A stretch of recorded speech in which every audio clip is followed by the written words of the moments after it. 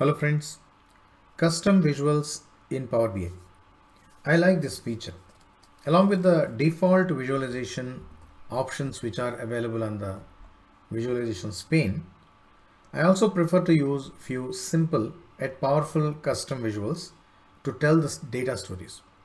So how to get these custom visuals? You need to go to the more options where you can get uh, more visuals from the marketplace if you click on that, there are four options. You need to select get more visuals to get the marketplace. If you have created your own visual using different uh, options, you can select that visual from the file. Let us explore get more visuals option.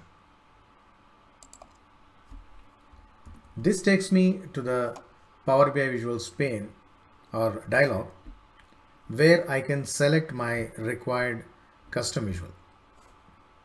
So I would like to share and explain my few favorite custom visuals to you through this video series. I'll be explaining each custom visual per video to make you understand the same completely and you can also explore these add-on visuals. I request you to watch completely and share your feedback and comments and any questions too. In this video, I'm going to explain about cylindrical gauge chart. This chart, first let us get the chart and see what that visual is good for and what I am going to use it for. To get the custom visuals, you need to go to visualizations pane. There you need to go to three dots, get more visuals. Then first menu option, get more visuals. This gives you the dialog box, Power BI visuals there in the search box, let me type cylinder. If I search, if I press the search button, cylindrical gauge. You can straight away add it, but I suggest always whenever you are using a custom visual, try to just understand what it is meant for. So I'm just selecting this option, click on that. It's a verified visual by Power BI. Now it is actually good for are useful for evaluating inventory, average customer satisfaction scores, fuel, or other repository levels.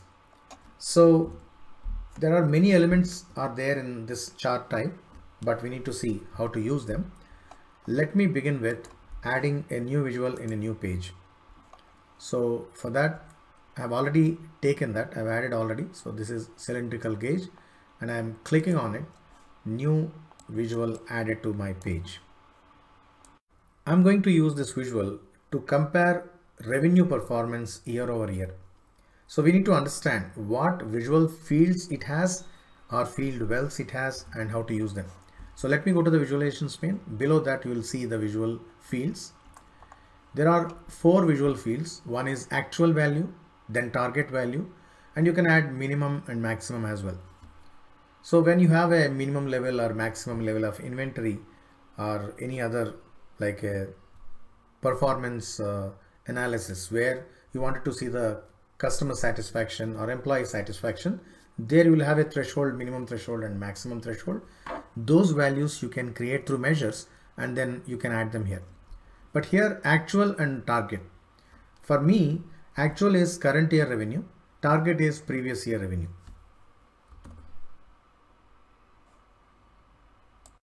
To add the data fields or values to the field wells or visual fields. Those are these actual and target etc I need to open the fields pane. Then in the actual field I need to add the contextual measure which is total revenue for current revenue. So let me select the total revenue. Target will be my last year revenue. I am not preferring to add the minimum and maximum, but you can create your own measures and add minimum and maximum. Then I need to configure this because currently it is not showing much information. It's showing only two things. One is uh, actual revenue and uh, targeted revenue. If I select 2018, my actual revenue is very much less than the target revenue that is previous year revenue.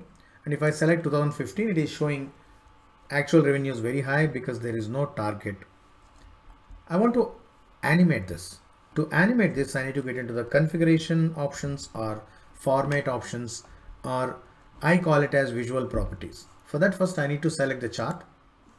Then if you go to the format painter icon below the visualizations, this is the configuration option. There I need to select configurations. So you can see various gradient fields are there based on the selection. I mean the color of the actual revenue. Let me go a little down and I need to go to animation time. There currently there is no animation. I need to increase it. One, two, three seconds.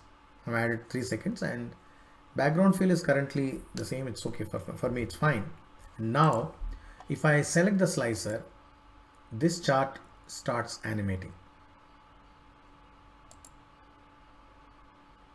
And based on the each selection or each change in the page uh, elements, the chart will animate and it will show the values accordingly. I've used this chart only to just compare year on year revenue performance. So I need not add any more fields. But if you are dealing with uh, inventory or you are dealing with uh, any kind of satisfaction survey, etc., you will be having different uh, levels or zones, etc. For that, you can use more options. So let me get into the configuration options or format options.